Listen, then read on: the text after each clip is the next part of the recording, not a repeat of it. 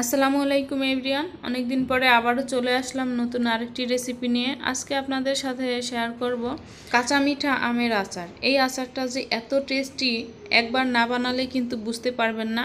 তাহলে চলুন দেখে নিই এ টু জেড ফার্স্টে এখানে আমি দুই কেজি আম নিয়ে নিছি। আর এই আমটা এই লাস্টের দিকের আম হতে হবে, যাতে করে আটিটা শক্ত থাকে।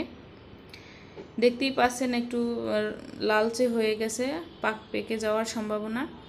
সো এভাবে করে আমি মাঝখান থেকে কেটে নিয়েছি, দেখিয়ে দিয়েছি কিন্তু হাত দিয়ে কীভাবে, কোন সাইড দিয়ে কাটতে হবে? কারণ এই আটি শক্তওয়ালা আমগুলো কাটতে কিন্তু অনেকটাই একটু হার্ড হয়, শক্ত হয়।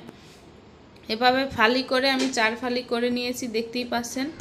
এভাবেই আমি সব আমগুলো কেটে পানিতে দু ঘণ্টার জন্য ভিজিয়ে রাখব আর সাথে দিব এক টেবিল চামচ লবণ দিয়ে একটু মেখে নেব। তাতে করে হবে কি এর কষ বা টক অনেকটাই বেরিয়ে আসবে। এবারে আচার বানানোর আগে এই মশলাটা প্রিপেয়ার করে নিচ্ছি। এখানে পাঁচফোড়নের যে মশলা এক প্যাকেট নিয়েছি, বাইশ টাকার মতো দাম। সেটা 30 সেকেন্ডের মতো একটু ভেজে নিয়ে এই যে ঠান্ডা করে ব্যালেন্ড করে নিব। প্রথমে আমি আদা ভাঙ্গা করে এখানে এক টেবিল চামচ তুলে নিচ্ছি। তুলে নিয়ে বাকি যেই মশলাটা থাকবে ওইটা আমি মিহি করে ব্যালেন্ড করে নিচ্ছি। এবার চুলায় কড়াইতে আমি এক কাপ পরিমাণে সরিষার তেল দিয়ে দিচ্ছি আর ফোড়নের জন্য এক চা চামচ পাঁচফোড়ন দিয়ে দিচ্ছি। এগুলো হচ্ছে গোটাতা তারপরে একটু ভেজে নিয়ে দিয়ে দিচ্ছি রসুন কুচি। এখানে অন থার্ড কাপের মতো রসুন কুচি আছে। আর সরিষার তেলে দেওয়া মাত্রই কিন্তু এভাবে তেলটা অনেক ফুলে উঠবে বাবুলস হয়ে। তারপরে যখন তেলটা থেমে যাবে, মনে করতে হবে যে রসুনটা ভাজা হয়ে গেছে। তারপরে আমগুলো দিয়ে দিচ্ছি। এই আমগুলো কিন্তু আমি ধুয়ে নিয়েছিলাম। বীজাণু আম আবার কিন্তু আমি ফ্রেশ পানি দিয়ে ধুয়ে তারপরে ছেঁকে দিয়েছি। এখানে এখন এক কাপ পরিমাণে চিনি দিলাম। এখন ভালোভাবে মিশিয়ে নিচ্ছি।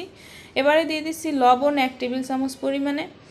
দিয়ে আবারও একটু ভালোভাবে মিশিয়ে দিচ্ছি। আর এই নাড়াটা কিন্তু একদম ঘোটা যাবে না, আস্তে আস্তে নাড়তে হবে প্রথম থেকে একদম শেষ পর্যন্ত। আর এবারে আমি শুকনো মরিচ দিয়ে দিচ্ছি। এই শুকনো মরিচ চাইলে আপনারা ভেজে গুঁড়ো করে দিতে পারেন। সো আমি দেখার সৌন্দর্যে বা একটু ঝাল বেশি বের হবে ফ্লেভারের জন্য আমি এভাবে কুচি করে প্রায় দশ থেকে বারোটা মরিচ দিয়ে দিছি। ফার্স্টে দিছি সাতটার মতো। লাস্টে আবারও ঝাল কম মনে হয়েছে, পরে আবারও দিয়ে। দেন এখন দিয়ে দিচ্ছি সেই যে গুঁড়ো করে মিহি করে রাখা যে এই পাঁচফোড়নের গুঁড়াটা, ওটা। দিয়ে আবারও ভালোভাবে মিশিয়ে নিছি। আচার মানেই শুধু নাড়তে থাকতে হবে, নাড়া বন্ধ করা যাবে না। আবারও আমি আরও এক কাপ চিনি দিয়ে দিলাম, এই মোট দুই কাপ চিনি দিয়ে দিলাম। এবারে আবারও আমি ভালোভাবে মিশিয়ে নিচ্ছি।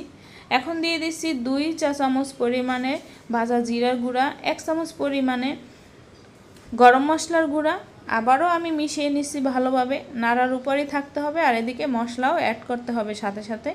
আর নাড়াটা দেখে বুঝে নেবেন, এরকম আলগা করে নেড়ে নিতে হবে যাতে করে এই আম লাস্ট পর্যন্তই আস্ত গোটা গোটা থাকে। এখন দিয়ে দিচ্ছি vinegar white vinegar on third cup পরিমাণে। এখন দিয়ে দিচ্ছি মনে হচ্ছিল যে মরিচটা একটু কম হয়েছে ঝালটা, আবারও চার পাঁচটার মতো কেটে দিয়েছি। মোট দশ বারোটার মতো দিয়েছি আমি। তো আপনাদের টেস্ট অনুযায়ী আপনারা ইউজ করবেন।